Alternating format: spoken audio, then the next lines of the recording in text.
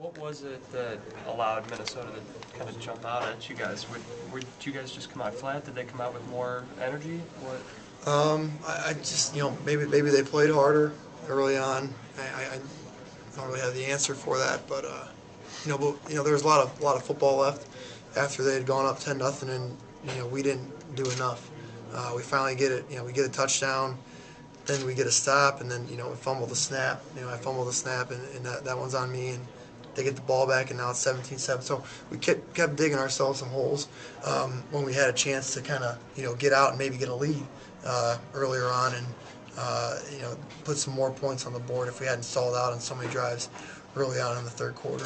How did that 10 nothing deficit change or alter what you wanted to do at the start? Because normally you guys are the ones that are starting the game with the football and you're out, so you're not.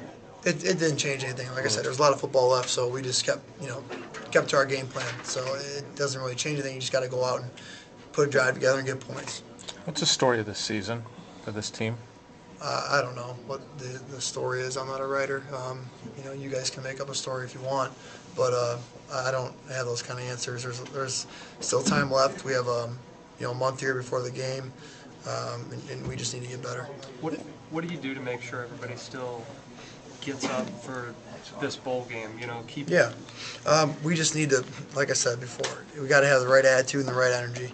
We need to go out there um, and, and, and play play well at practice. Um, you know, take everything very serious. That's that's what you have to do as a player all the time, and especially when things aren't going well. You can't you know point the finger at anybody.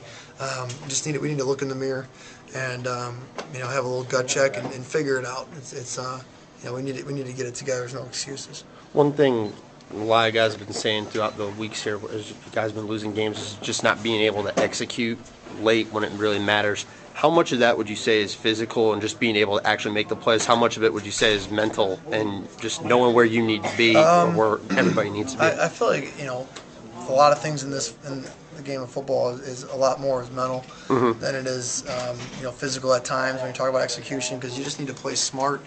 You just need to be aware of what's going on, and then you kind of you know the physical part you've done the reps and all that stuff during the week, and you want to see it pay off. And if it doesn't, um, it's disappointing. And so you know, it, just not executing.